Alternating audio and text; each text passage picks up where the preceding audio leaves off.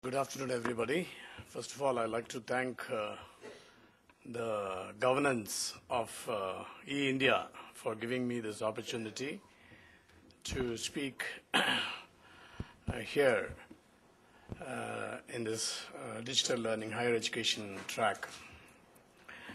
I have been uh, a silent watcher of how the whole program was being arranged and uh, my hats off to them that uh, they have been governing the whole uh, program to start uh, yesterday from Delhi, mostly from Delhi. Am I right? So you see the how the ICT has improved.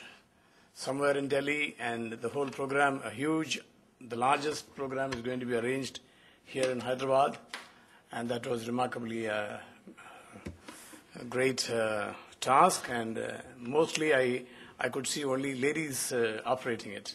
So the women uh, uh, involvement was really great in that. So I congratulate the governor, the E-India uh, uh, organizers who have taken this program so far.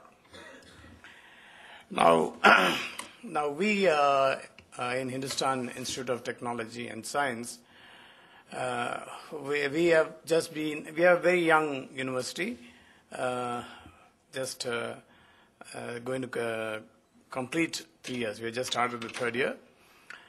And uh, see, when, when, when you have to, when you talk about e-governance, there are two things which should come into our mind. Is one is the government and the part of it, how the government is introducing the electronic uh, gadgets to govern the, the country. And other, other one is how individually how people are governing uh, their resources, mm, the infrastructure, and the manpower which they have. So, as far as higher education is concerned, our duty is to see that how our uh, resources is uh, governed.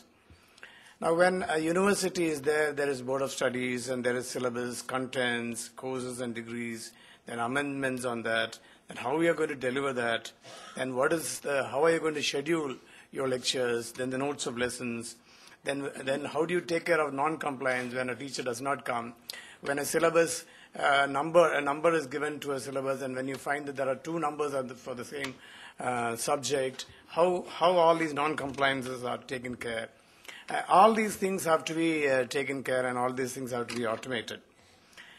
Now we have internal, we have reporting systems internal and we have external. Like uh, uh any uh, any uh, institution cannot exist as a standalone unless and until you do you bring about one of the best cadres of um, products and they are immediately taken in. You know, as private, you know, most, most of the players here are private uh, players where we have to see that uh, we bring in the raw products and see that they are tuned and taken outside. So the main focus is on the students.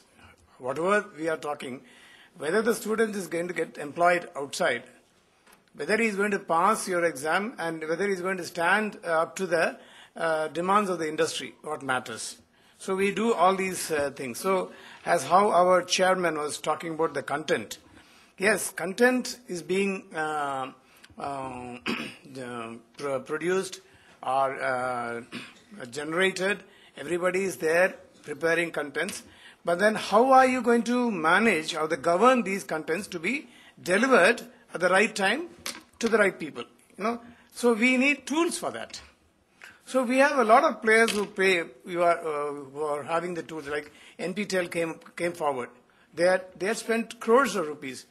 But then the, there was no, there was no uh, a flag in between kept while they were uh, bringing out that NPTEL, whether that one hour lecture is going to be taken by the student or not throughout.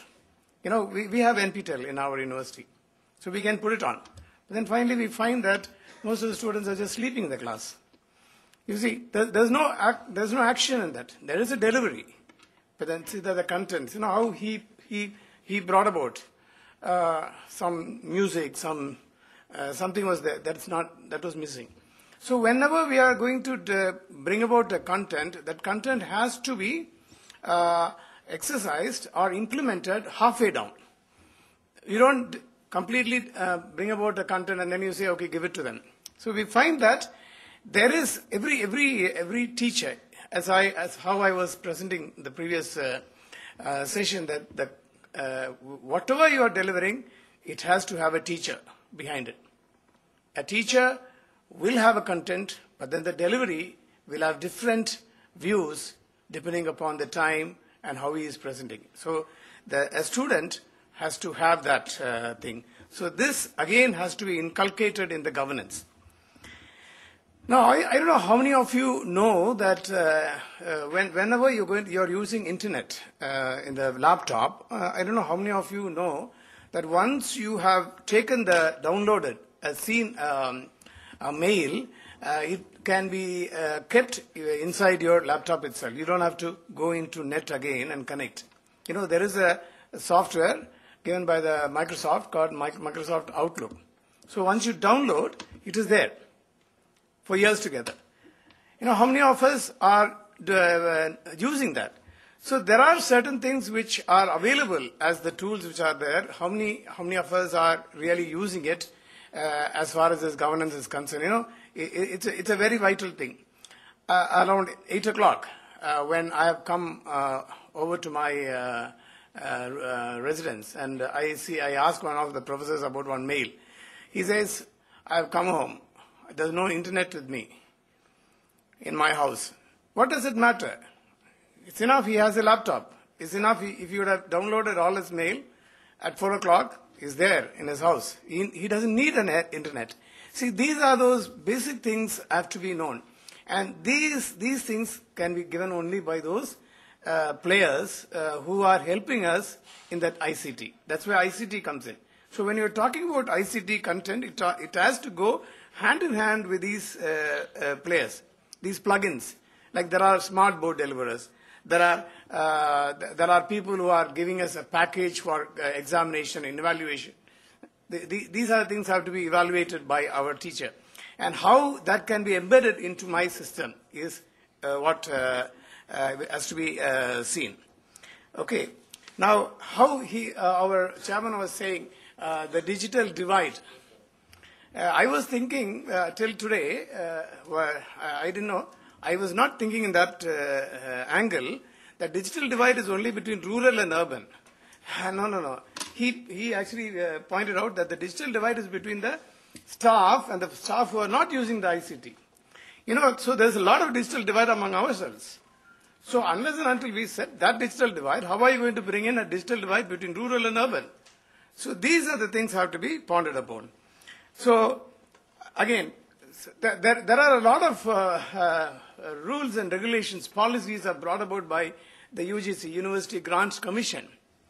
The commission which grants us university status. Now, the, certain other things are outdated.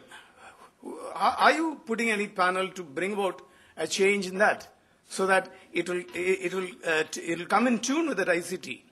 You see, see, these are the things have to be taken in. So I leave you to uh, in this and see what best can be done in this e-governance for this ICT. Thank you very much.